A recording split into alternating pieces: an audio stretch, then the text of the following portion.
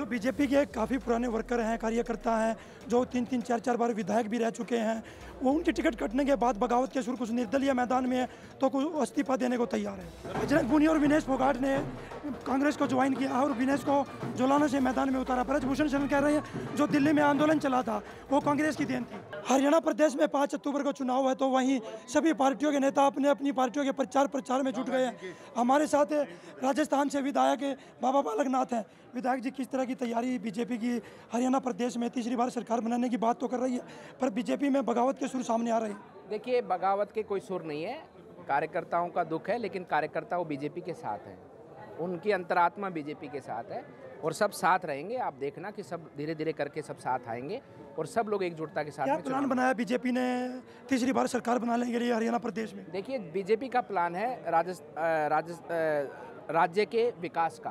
BJP का plan है हरियाणा प्रदेश को किस स्वरूप से अब आने वाले पाँच वर्षों में आगे बढ़ाना है वो मॉडल लेकर वो विषय लेकर जनता के बीच में जा रहेंगे और जनता हरियाणा प्रदेश की एक एक हमारे ग्रामवासी, हमारे शहरवासी सब भारतीय जनता पार्टी के साथ में।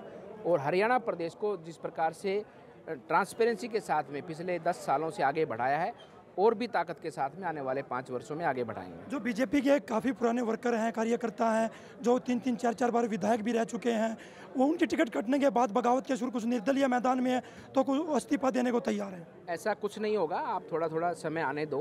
सब लोग आपको एकजुट दिखेंगे और सब लोग एक साथ मिलकर भारतीय जनता पार्टी को जिताने के लिए कार्य करेंगे। कांग्रेस लगातार हमलावर है कह रही है कि बढ़ती महँगाई और अग्निवीर योजना जो लेकर आए थे युवाओं के साथ धोखा किया। देखिए कांग्रेस कुछ भी कहे लेकिन कांग्रेस आज देश की सत्ता से दूर है और वो दूर ही रहेगी। भूपेंद्र हुडा लगातार कह रहे हैं कि किसानों के हित में कुछ नहीं किया देश के युवाओं को बेरोजगार बनाया है। देखिए मैं एक बात कह देता हूँ कि भारतीय जनता पार्टी चाहे केंद्र में हो चाहे प्रदेश में हो जिसने केवल और केवल प्रदेश के हित में वो सारे कार्य किए हैं और जिसके कारण आज प्रदेश और देश आगे बढ़ रहा है। क्या विजन है भारतीय जनता पार्टी का जो जनता के बीच जाएगी अब? देखिए विजन है प्रदेश के विकास का और पिछले दस वर्ष जो कार्य किए हैं उन कार्यों के साथ साथ में आने वाले समय पर पूरी ट्रांसपेरेंसी के साथ में बिना किसी भेदभाव के प्रदेश को आगे बढ़ाना बजरंग पुनिया और विनेश फोगाट ने कांग्रेस को ज्वाइन किया और विनेश को जोलाना से मैदान में उतारा। ब्रजभूषण शरण कह रहे हैं जो दिल्ली में आंदोलन चला था वो कांग्रेस की देन थी। देखिए, इन विषयों पे मैं नहीं जाना चाहता हूँ, लेकिन जिसको जहाँ जाना है वो जा सकता है। निर्णय तो हरियाणा प्रदेश की जनता करेगी और वो जनता का निर्णय आप आने वाली तारीख को देखेंगे कि जनता देश के और प्रदेश के साथ बीजेपी के साथ है और वो निर्णय पर आपको बताएँगे कि आज कौन किसके साथ है। जी एक लास्ट सवाल मेरा आपसे।